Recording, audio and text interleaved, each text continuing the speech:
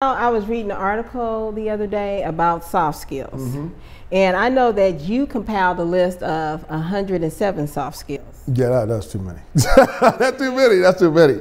It's, but that's what you came up with, that's right? What I, I mean, after 18 years as a master soft skills trainer and a professional speaker, I've spoken to over a million people. So I've always tried to compile a list of these skills. And I stopped counting when we got to 107. That's ridiculous. So in this article, I found it interesting that they listed a driver's license as a soft skill. A driver's license? Oh, so I'm taking it that wasn't in your 107. No. The driver's license is a thing.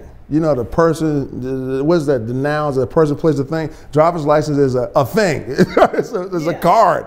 It, it, it's not a skill. Well, that's what they had listed. That's what they had listed on there? Yeah, a driver's license. I don't know about that. But I, I can see how getting your driver's license might require you to use soft skills. I mean, most of our everyday tasks, whether it's professional or on a personal note, they require us to exhibit all types of, of soft skills. So I can understand where the person who wrote that article or made that list or whatever, I kind of understand where he or she is going. But I don't think the driver license itself is a soft skill. People get out of hand with this thing trying to call everything a soft skill. That's not how it is. Matter of fact, uh, soft skills, you might not even know what a soft skill is.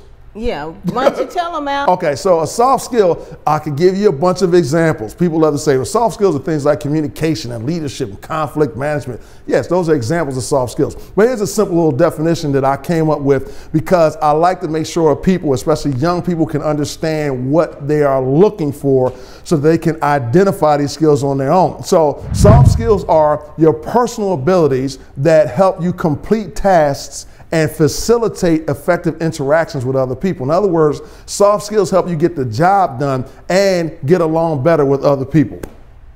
Okay. So we got all kind of soft skills in a driver's license. As, as, a matter of fact, so you you you have your driver's license, right? Yes, I do. You, can you drive? Think it is because you got your license. Don't mean you can drive. But can you drive? Yes, Al, I can drive. Okay, that's good. All right. So when you got your driver's license, did you go to driver's ed? No, I actually read the book. You, you, you like the little, you actually yeah. read that thing? I read the book. And okay, then one, you read the book? Yeah, and then one day I went to my dad and I said, let me borrow your car. And he's like, you don't have your driver's license? I said, I'm going to go get it. okay, hold on. Well, let's pause for a second because I'm still stuck on, I wish one of my kids would, hey, let me borrow the car. What?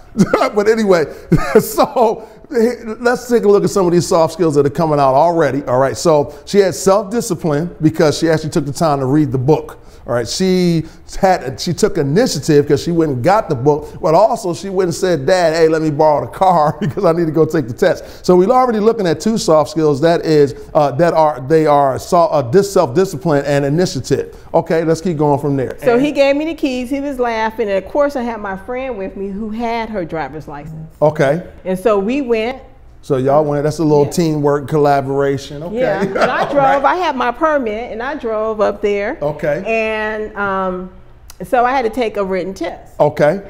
And part of it was verbal, mm-hmm. and so they had me look at signs, and I had to identify the signs.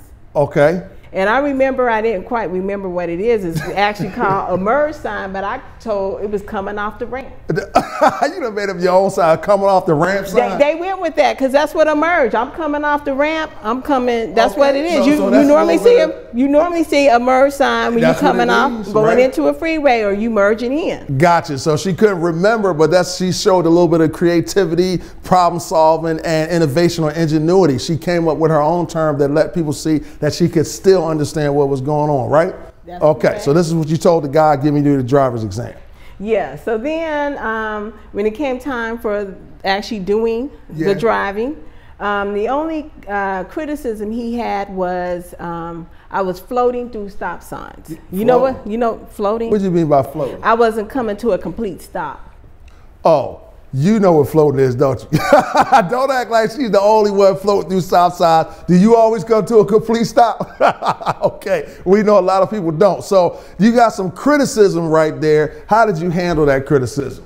I just said, okay, thank you, sir. And then we came to the next. Well, that was at the end. Okay. But, you know, I'm going to tell you this, Al. When I think back to uh -huh. that, if I had to parallel park, I probably would have flunked. You, you would have did good with the parallel parking. He didn't ask me that. Okay, but where I grew good. up, Denver, uh-huh. we don't really have to parallel park. Okay, well that's fine. But you know, I don't know about these other cities, like maybe San Francisco, right. New York. Yeah. That's where I think it's important. Well, that's okay. A lot of people can't parallel park. Let me ask you this: Do you, do you still float through the stop signs? No.